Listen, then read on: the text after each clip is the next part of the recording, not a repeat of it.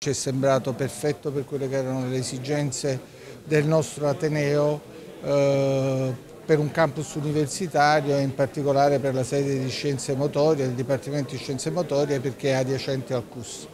Eh, riteniamo di poter eh, con il nostro intervento dare un contributo alla riqualificazione dell'area. Tutti i progetti che sono ormai presentati nella fase definitiva prevedono un, una grande attenzione a quello che è la problematica della transizione ecologica. Sono quasi tutti edifici a energia zero. Per noi è un'importante occasione di rilancio e di valorizzazione di un sito demaniale che è stato per l'occasione dismesso, anche perché aveva perso gli utilizzi istituzionali governativi dell'esercito e contestualmente senza eh, eh, perdere ulteriore tempo è stato destinato con eh, volontà coesa di tutte le parti istituzionali coinvolte, la soprintendenza che ha fatto la verifica interesse culturale, l'esercito stesso che ha sentito la dismissione in tempo brevissimo per fare questo progetto di valorizzazione che attrarrà grandi risorse pubbliche. L'area dell'ex arsenale di via Campegna diventerà un campus universitario per la sede del Dipartimento di Scienze Motorie dell'Università Partenope.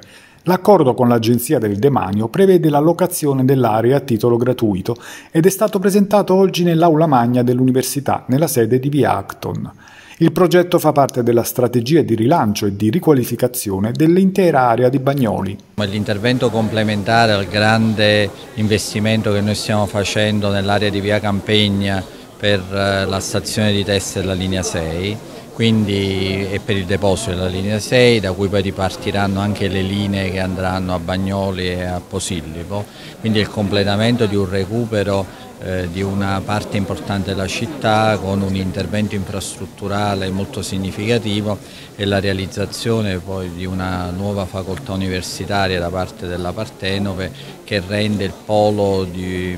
della zona ovest, quindi tra Fuorigrotta Monte Sant'Angelo e adesso il polo di Via Campegna, una delle grandi realtà universitarie della nostra città, quindi un intervento molto importante, noi ci abbiamo lavorato molto come comune perché chiaramente c'è un tema di variante urbanistica, quindi di compatibilità poi con la nostra infrastruttura ferroviaria che trasforma un pezzo di Napoli proprio di quella insomma, modernizzazione, di quella partenza sull'innovazione sulla cultura che noi vogliamo e questo è veramente una cosa molto importante che abbiamo concretizzato in pochissimo tempo.